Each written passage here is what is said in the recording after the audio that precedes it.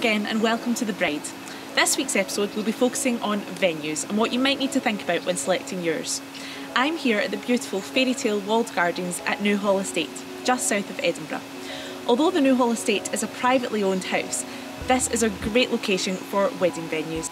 For the bridal party, there are holiday cottages on site, and it's only a short ride from Edinburgh to get the guests to and from the venue or back to a hotel and that's one of our top tips when choosing a venue, ease of access. If you're getting ready somewhere else, you don't want to be stuck in a wedding car in all your finery for a long time, especially in a vintage style car with small seats. Having somewhere to calmly get ready before the ceremony is a real stress buster. Now let's go talk to the owner of Newhall Estate and talk weddings. Hello, I'm here with John Kennedy, who's the owner of the Newhall Estate um, just outside of Edinburgh. So we're going to chat to him about the type of weddings that they have here. So, John, what type of weddings do you have at the Newhall Estate? Well, we've really got everything from humanist right through to the uh, weddings following a traditional service.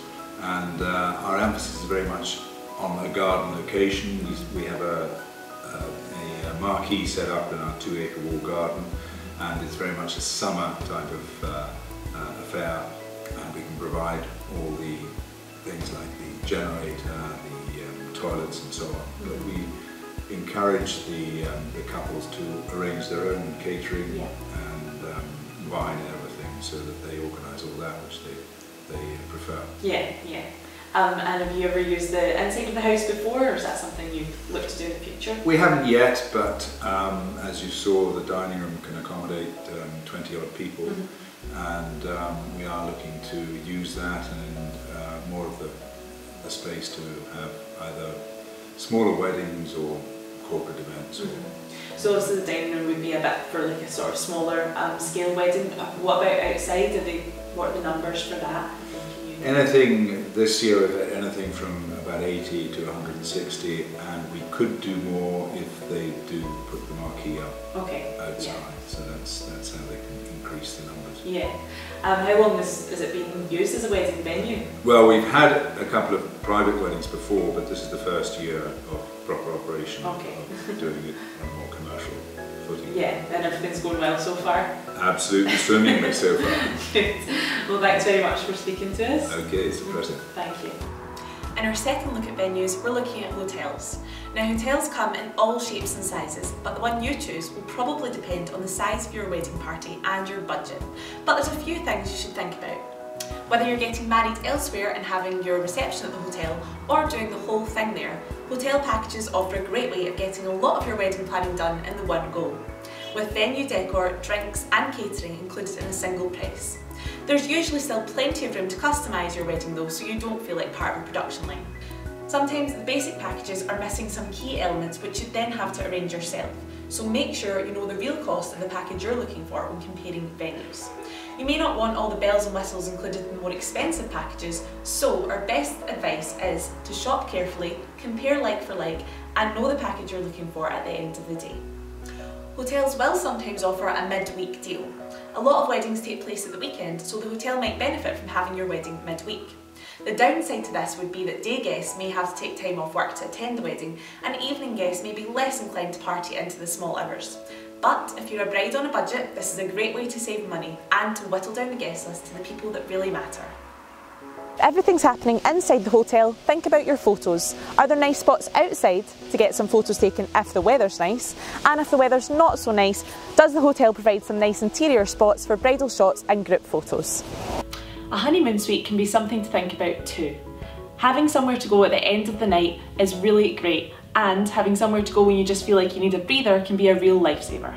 We are here at the Busby Hotel in Clarkston to see what a venue like this has to offer. Hi, we are here at the Busby Hotel in Clarkston to talk about using a hotel as your wedding venue. I'm going to be talking to Sarah Jane who is the bridal coordinator for the Busby. So what is the first question that the brides ask you when they contact you apart from having the date free? Well, generally when a bride and groom get in touch with us, they're looking to find out initially what packages that we do, mm -hmm. um, to see if that sits in with their overall budget for the day. Right. Um, also um, wanting to know what kind of numbers that we can accommodate. Okay. Um, we have two different function suites, so it's good to know if it can fit into what their uh -huh. plans are for the day. Perfect. And what questions do you need to ask them? Well, obviously, I want to know what their numbers are Mm-hmm. um, because part of the planning process is to be able to give them an estimate to take away so that when they leave, they've got a good idea of exactly what it is that they're looking financially Mm-hmm. at the hotel if they decide to come ahead and book with us. Okay, um, so just on that point, what would you say that the bride and groom need to be aware of or thinking about ahead of the day? Um, generally, th- the day as a whole, um, how it's all going to fit into if it's a particular season of the year that they're Mm-hmm. getting married in, to start thinking about their, their schemes, their colour schemes. Right. If it's a winter wedding, how much daylight they've got for Mm-hmm. for videos, for photography, um, and just really things. Like the whole planning process. So, Mm-hmm. have they got their celebrant booked? Do they know who they want to marry them? So, Right. are they going to go with a minister or a humanist celebrant um, or just a local registrar? So, Mm-hmm. things like that. And obviously, to make sure that um, whoever they decide that they would like to go with, that they can have their um, that they can have the dates. Yeah, on the same day. That's helpful. Yes.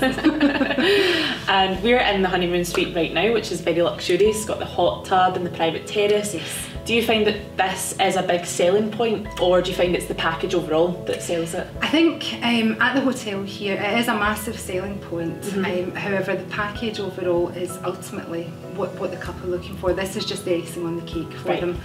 Um, I think regardless where a couple wants to go, it's the service, the reputation, and, and ultimately the financial cost of a package. Yeah. that, that is massive.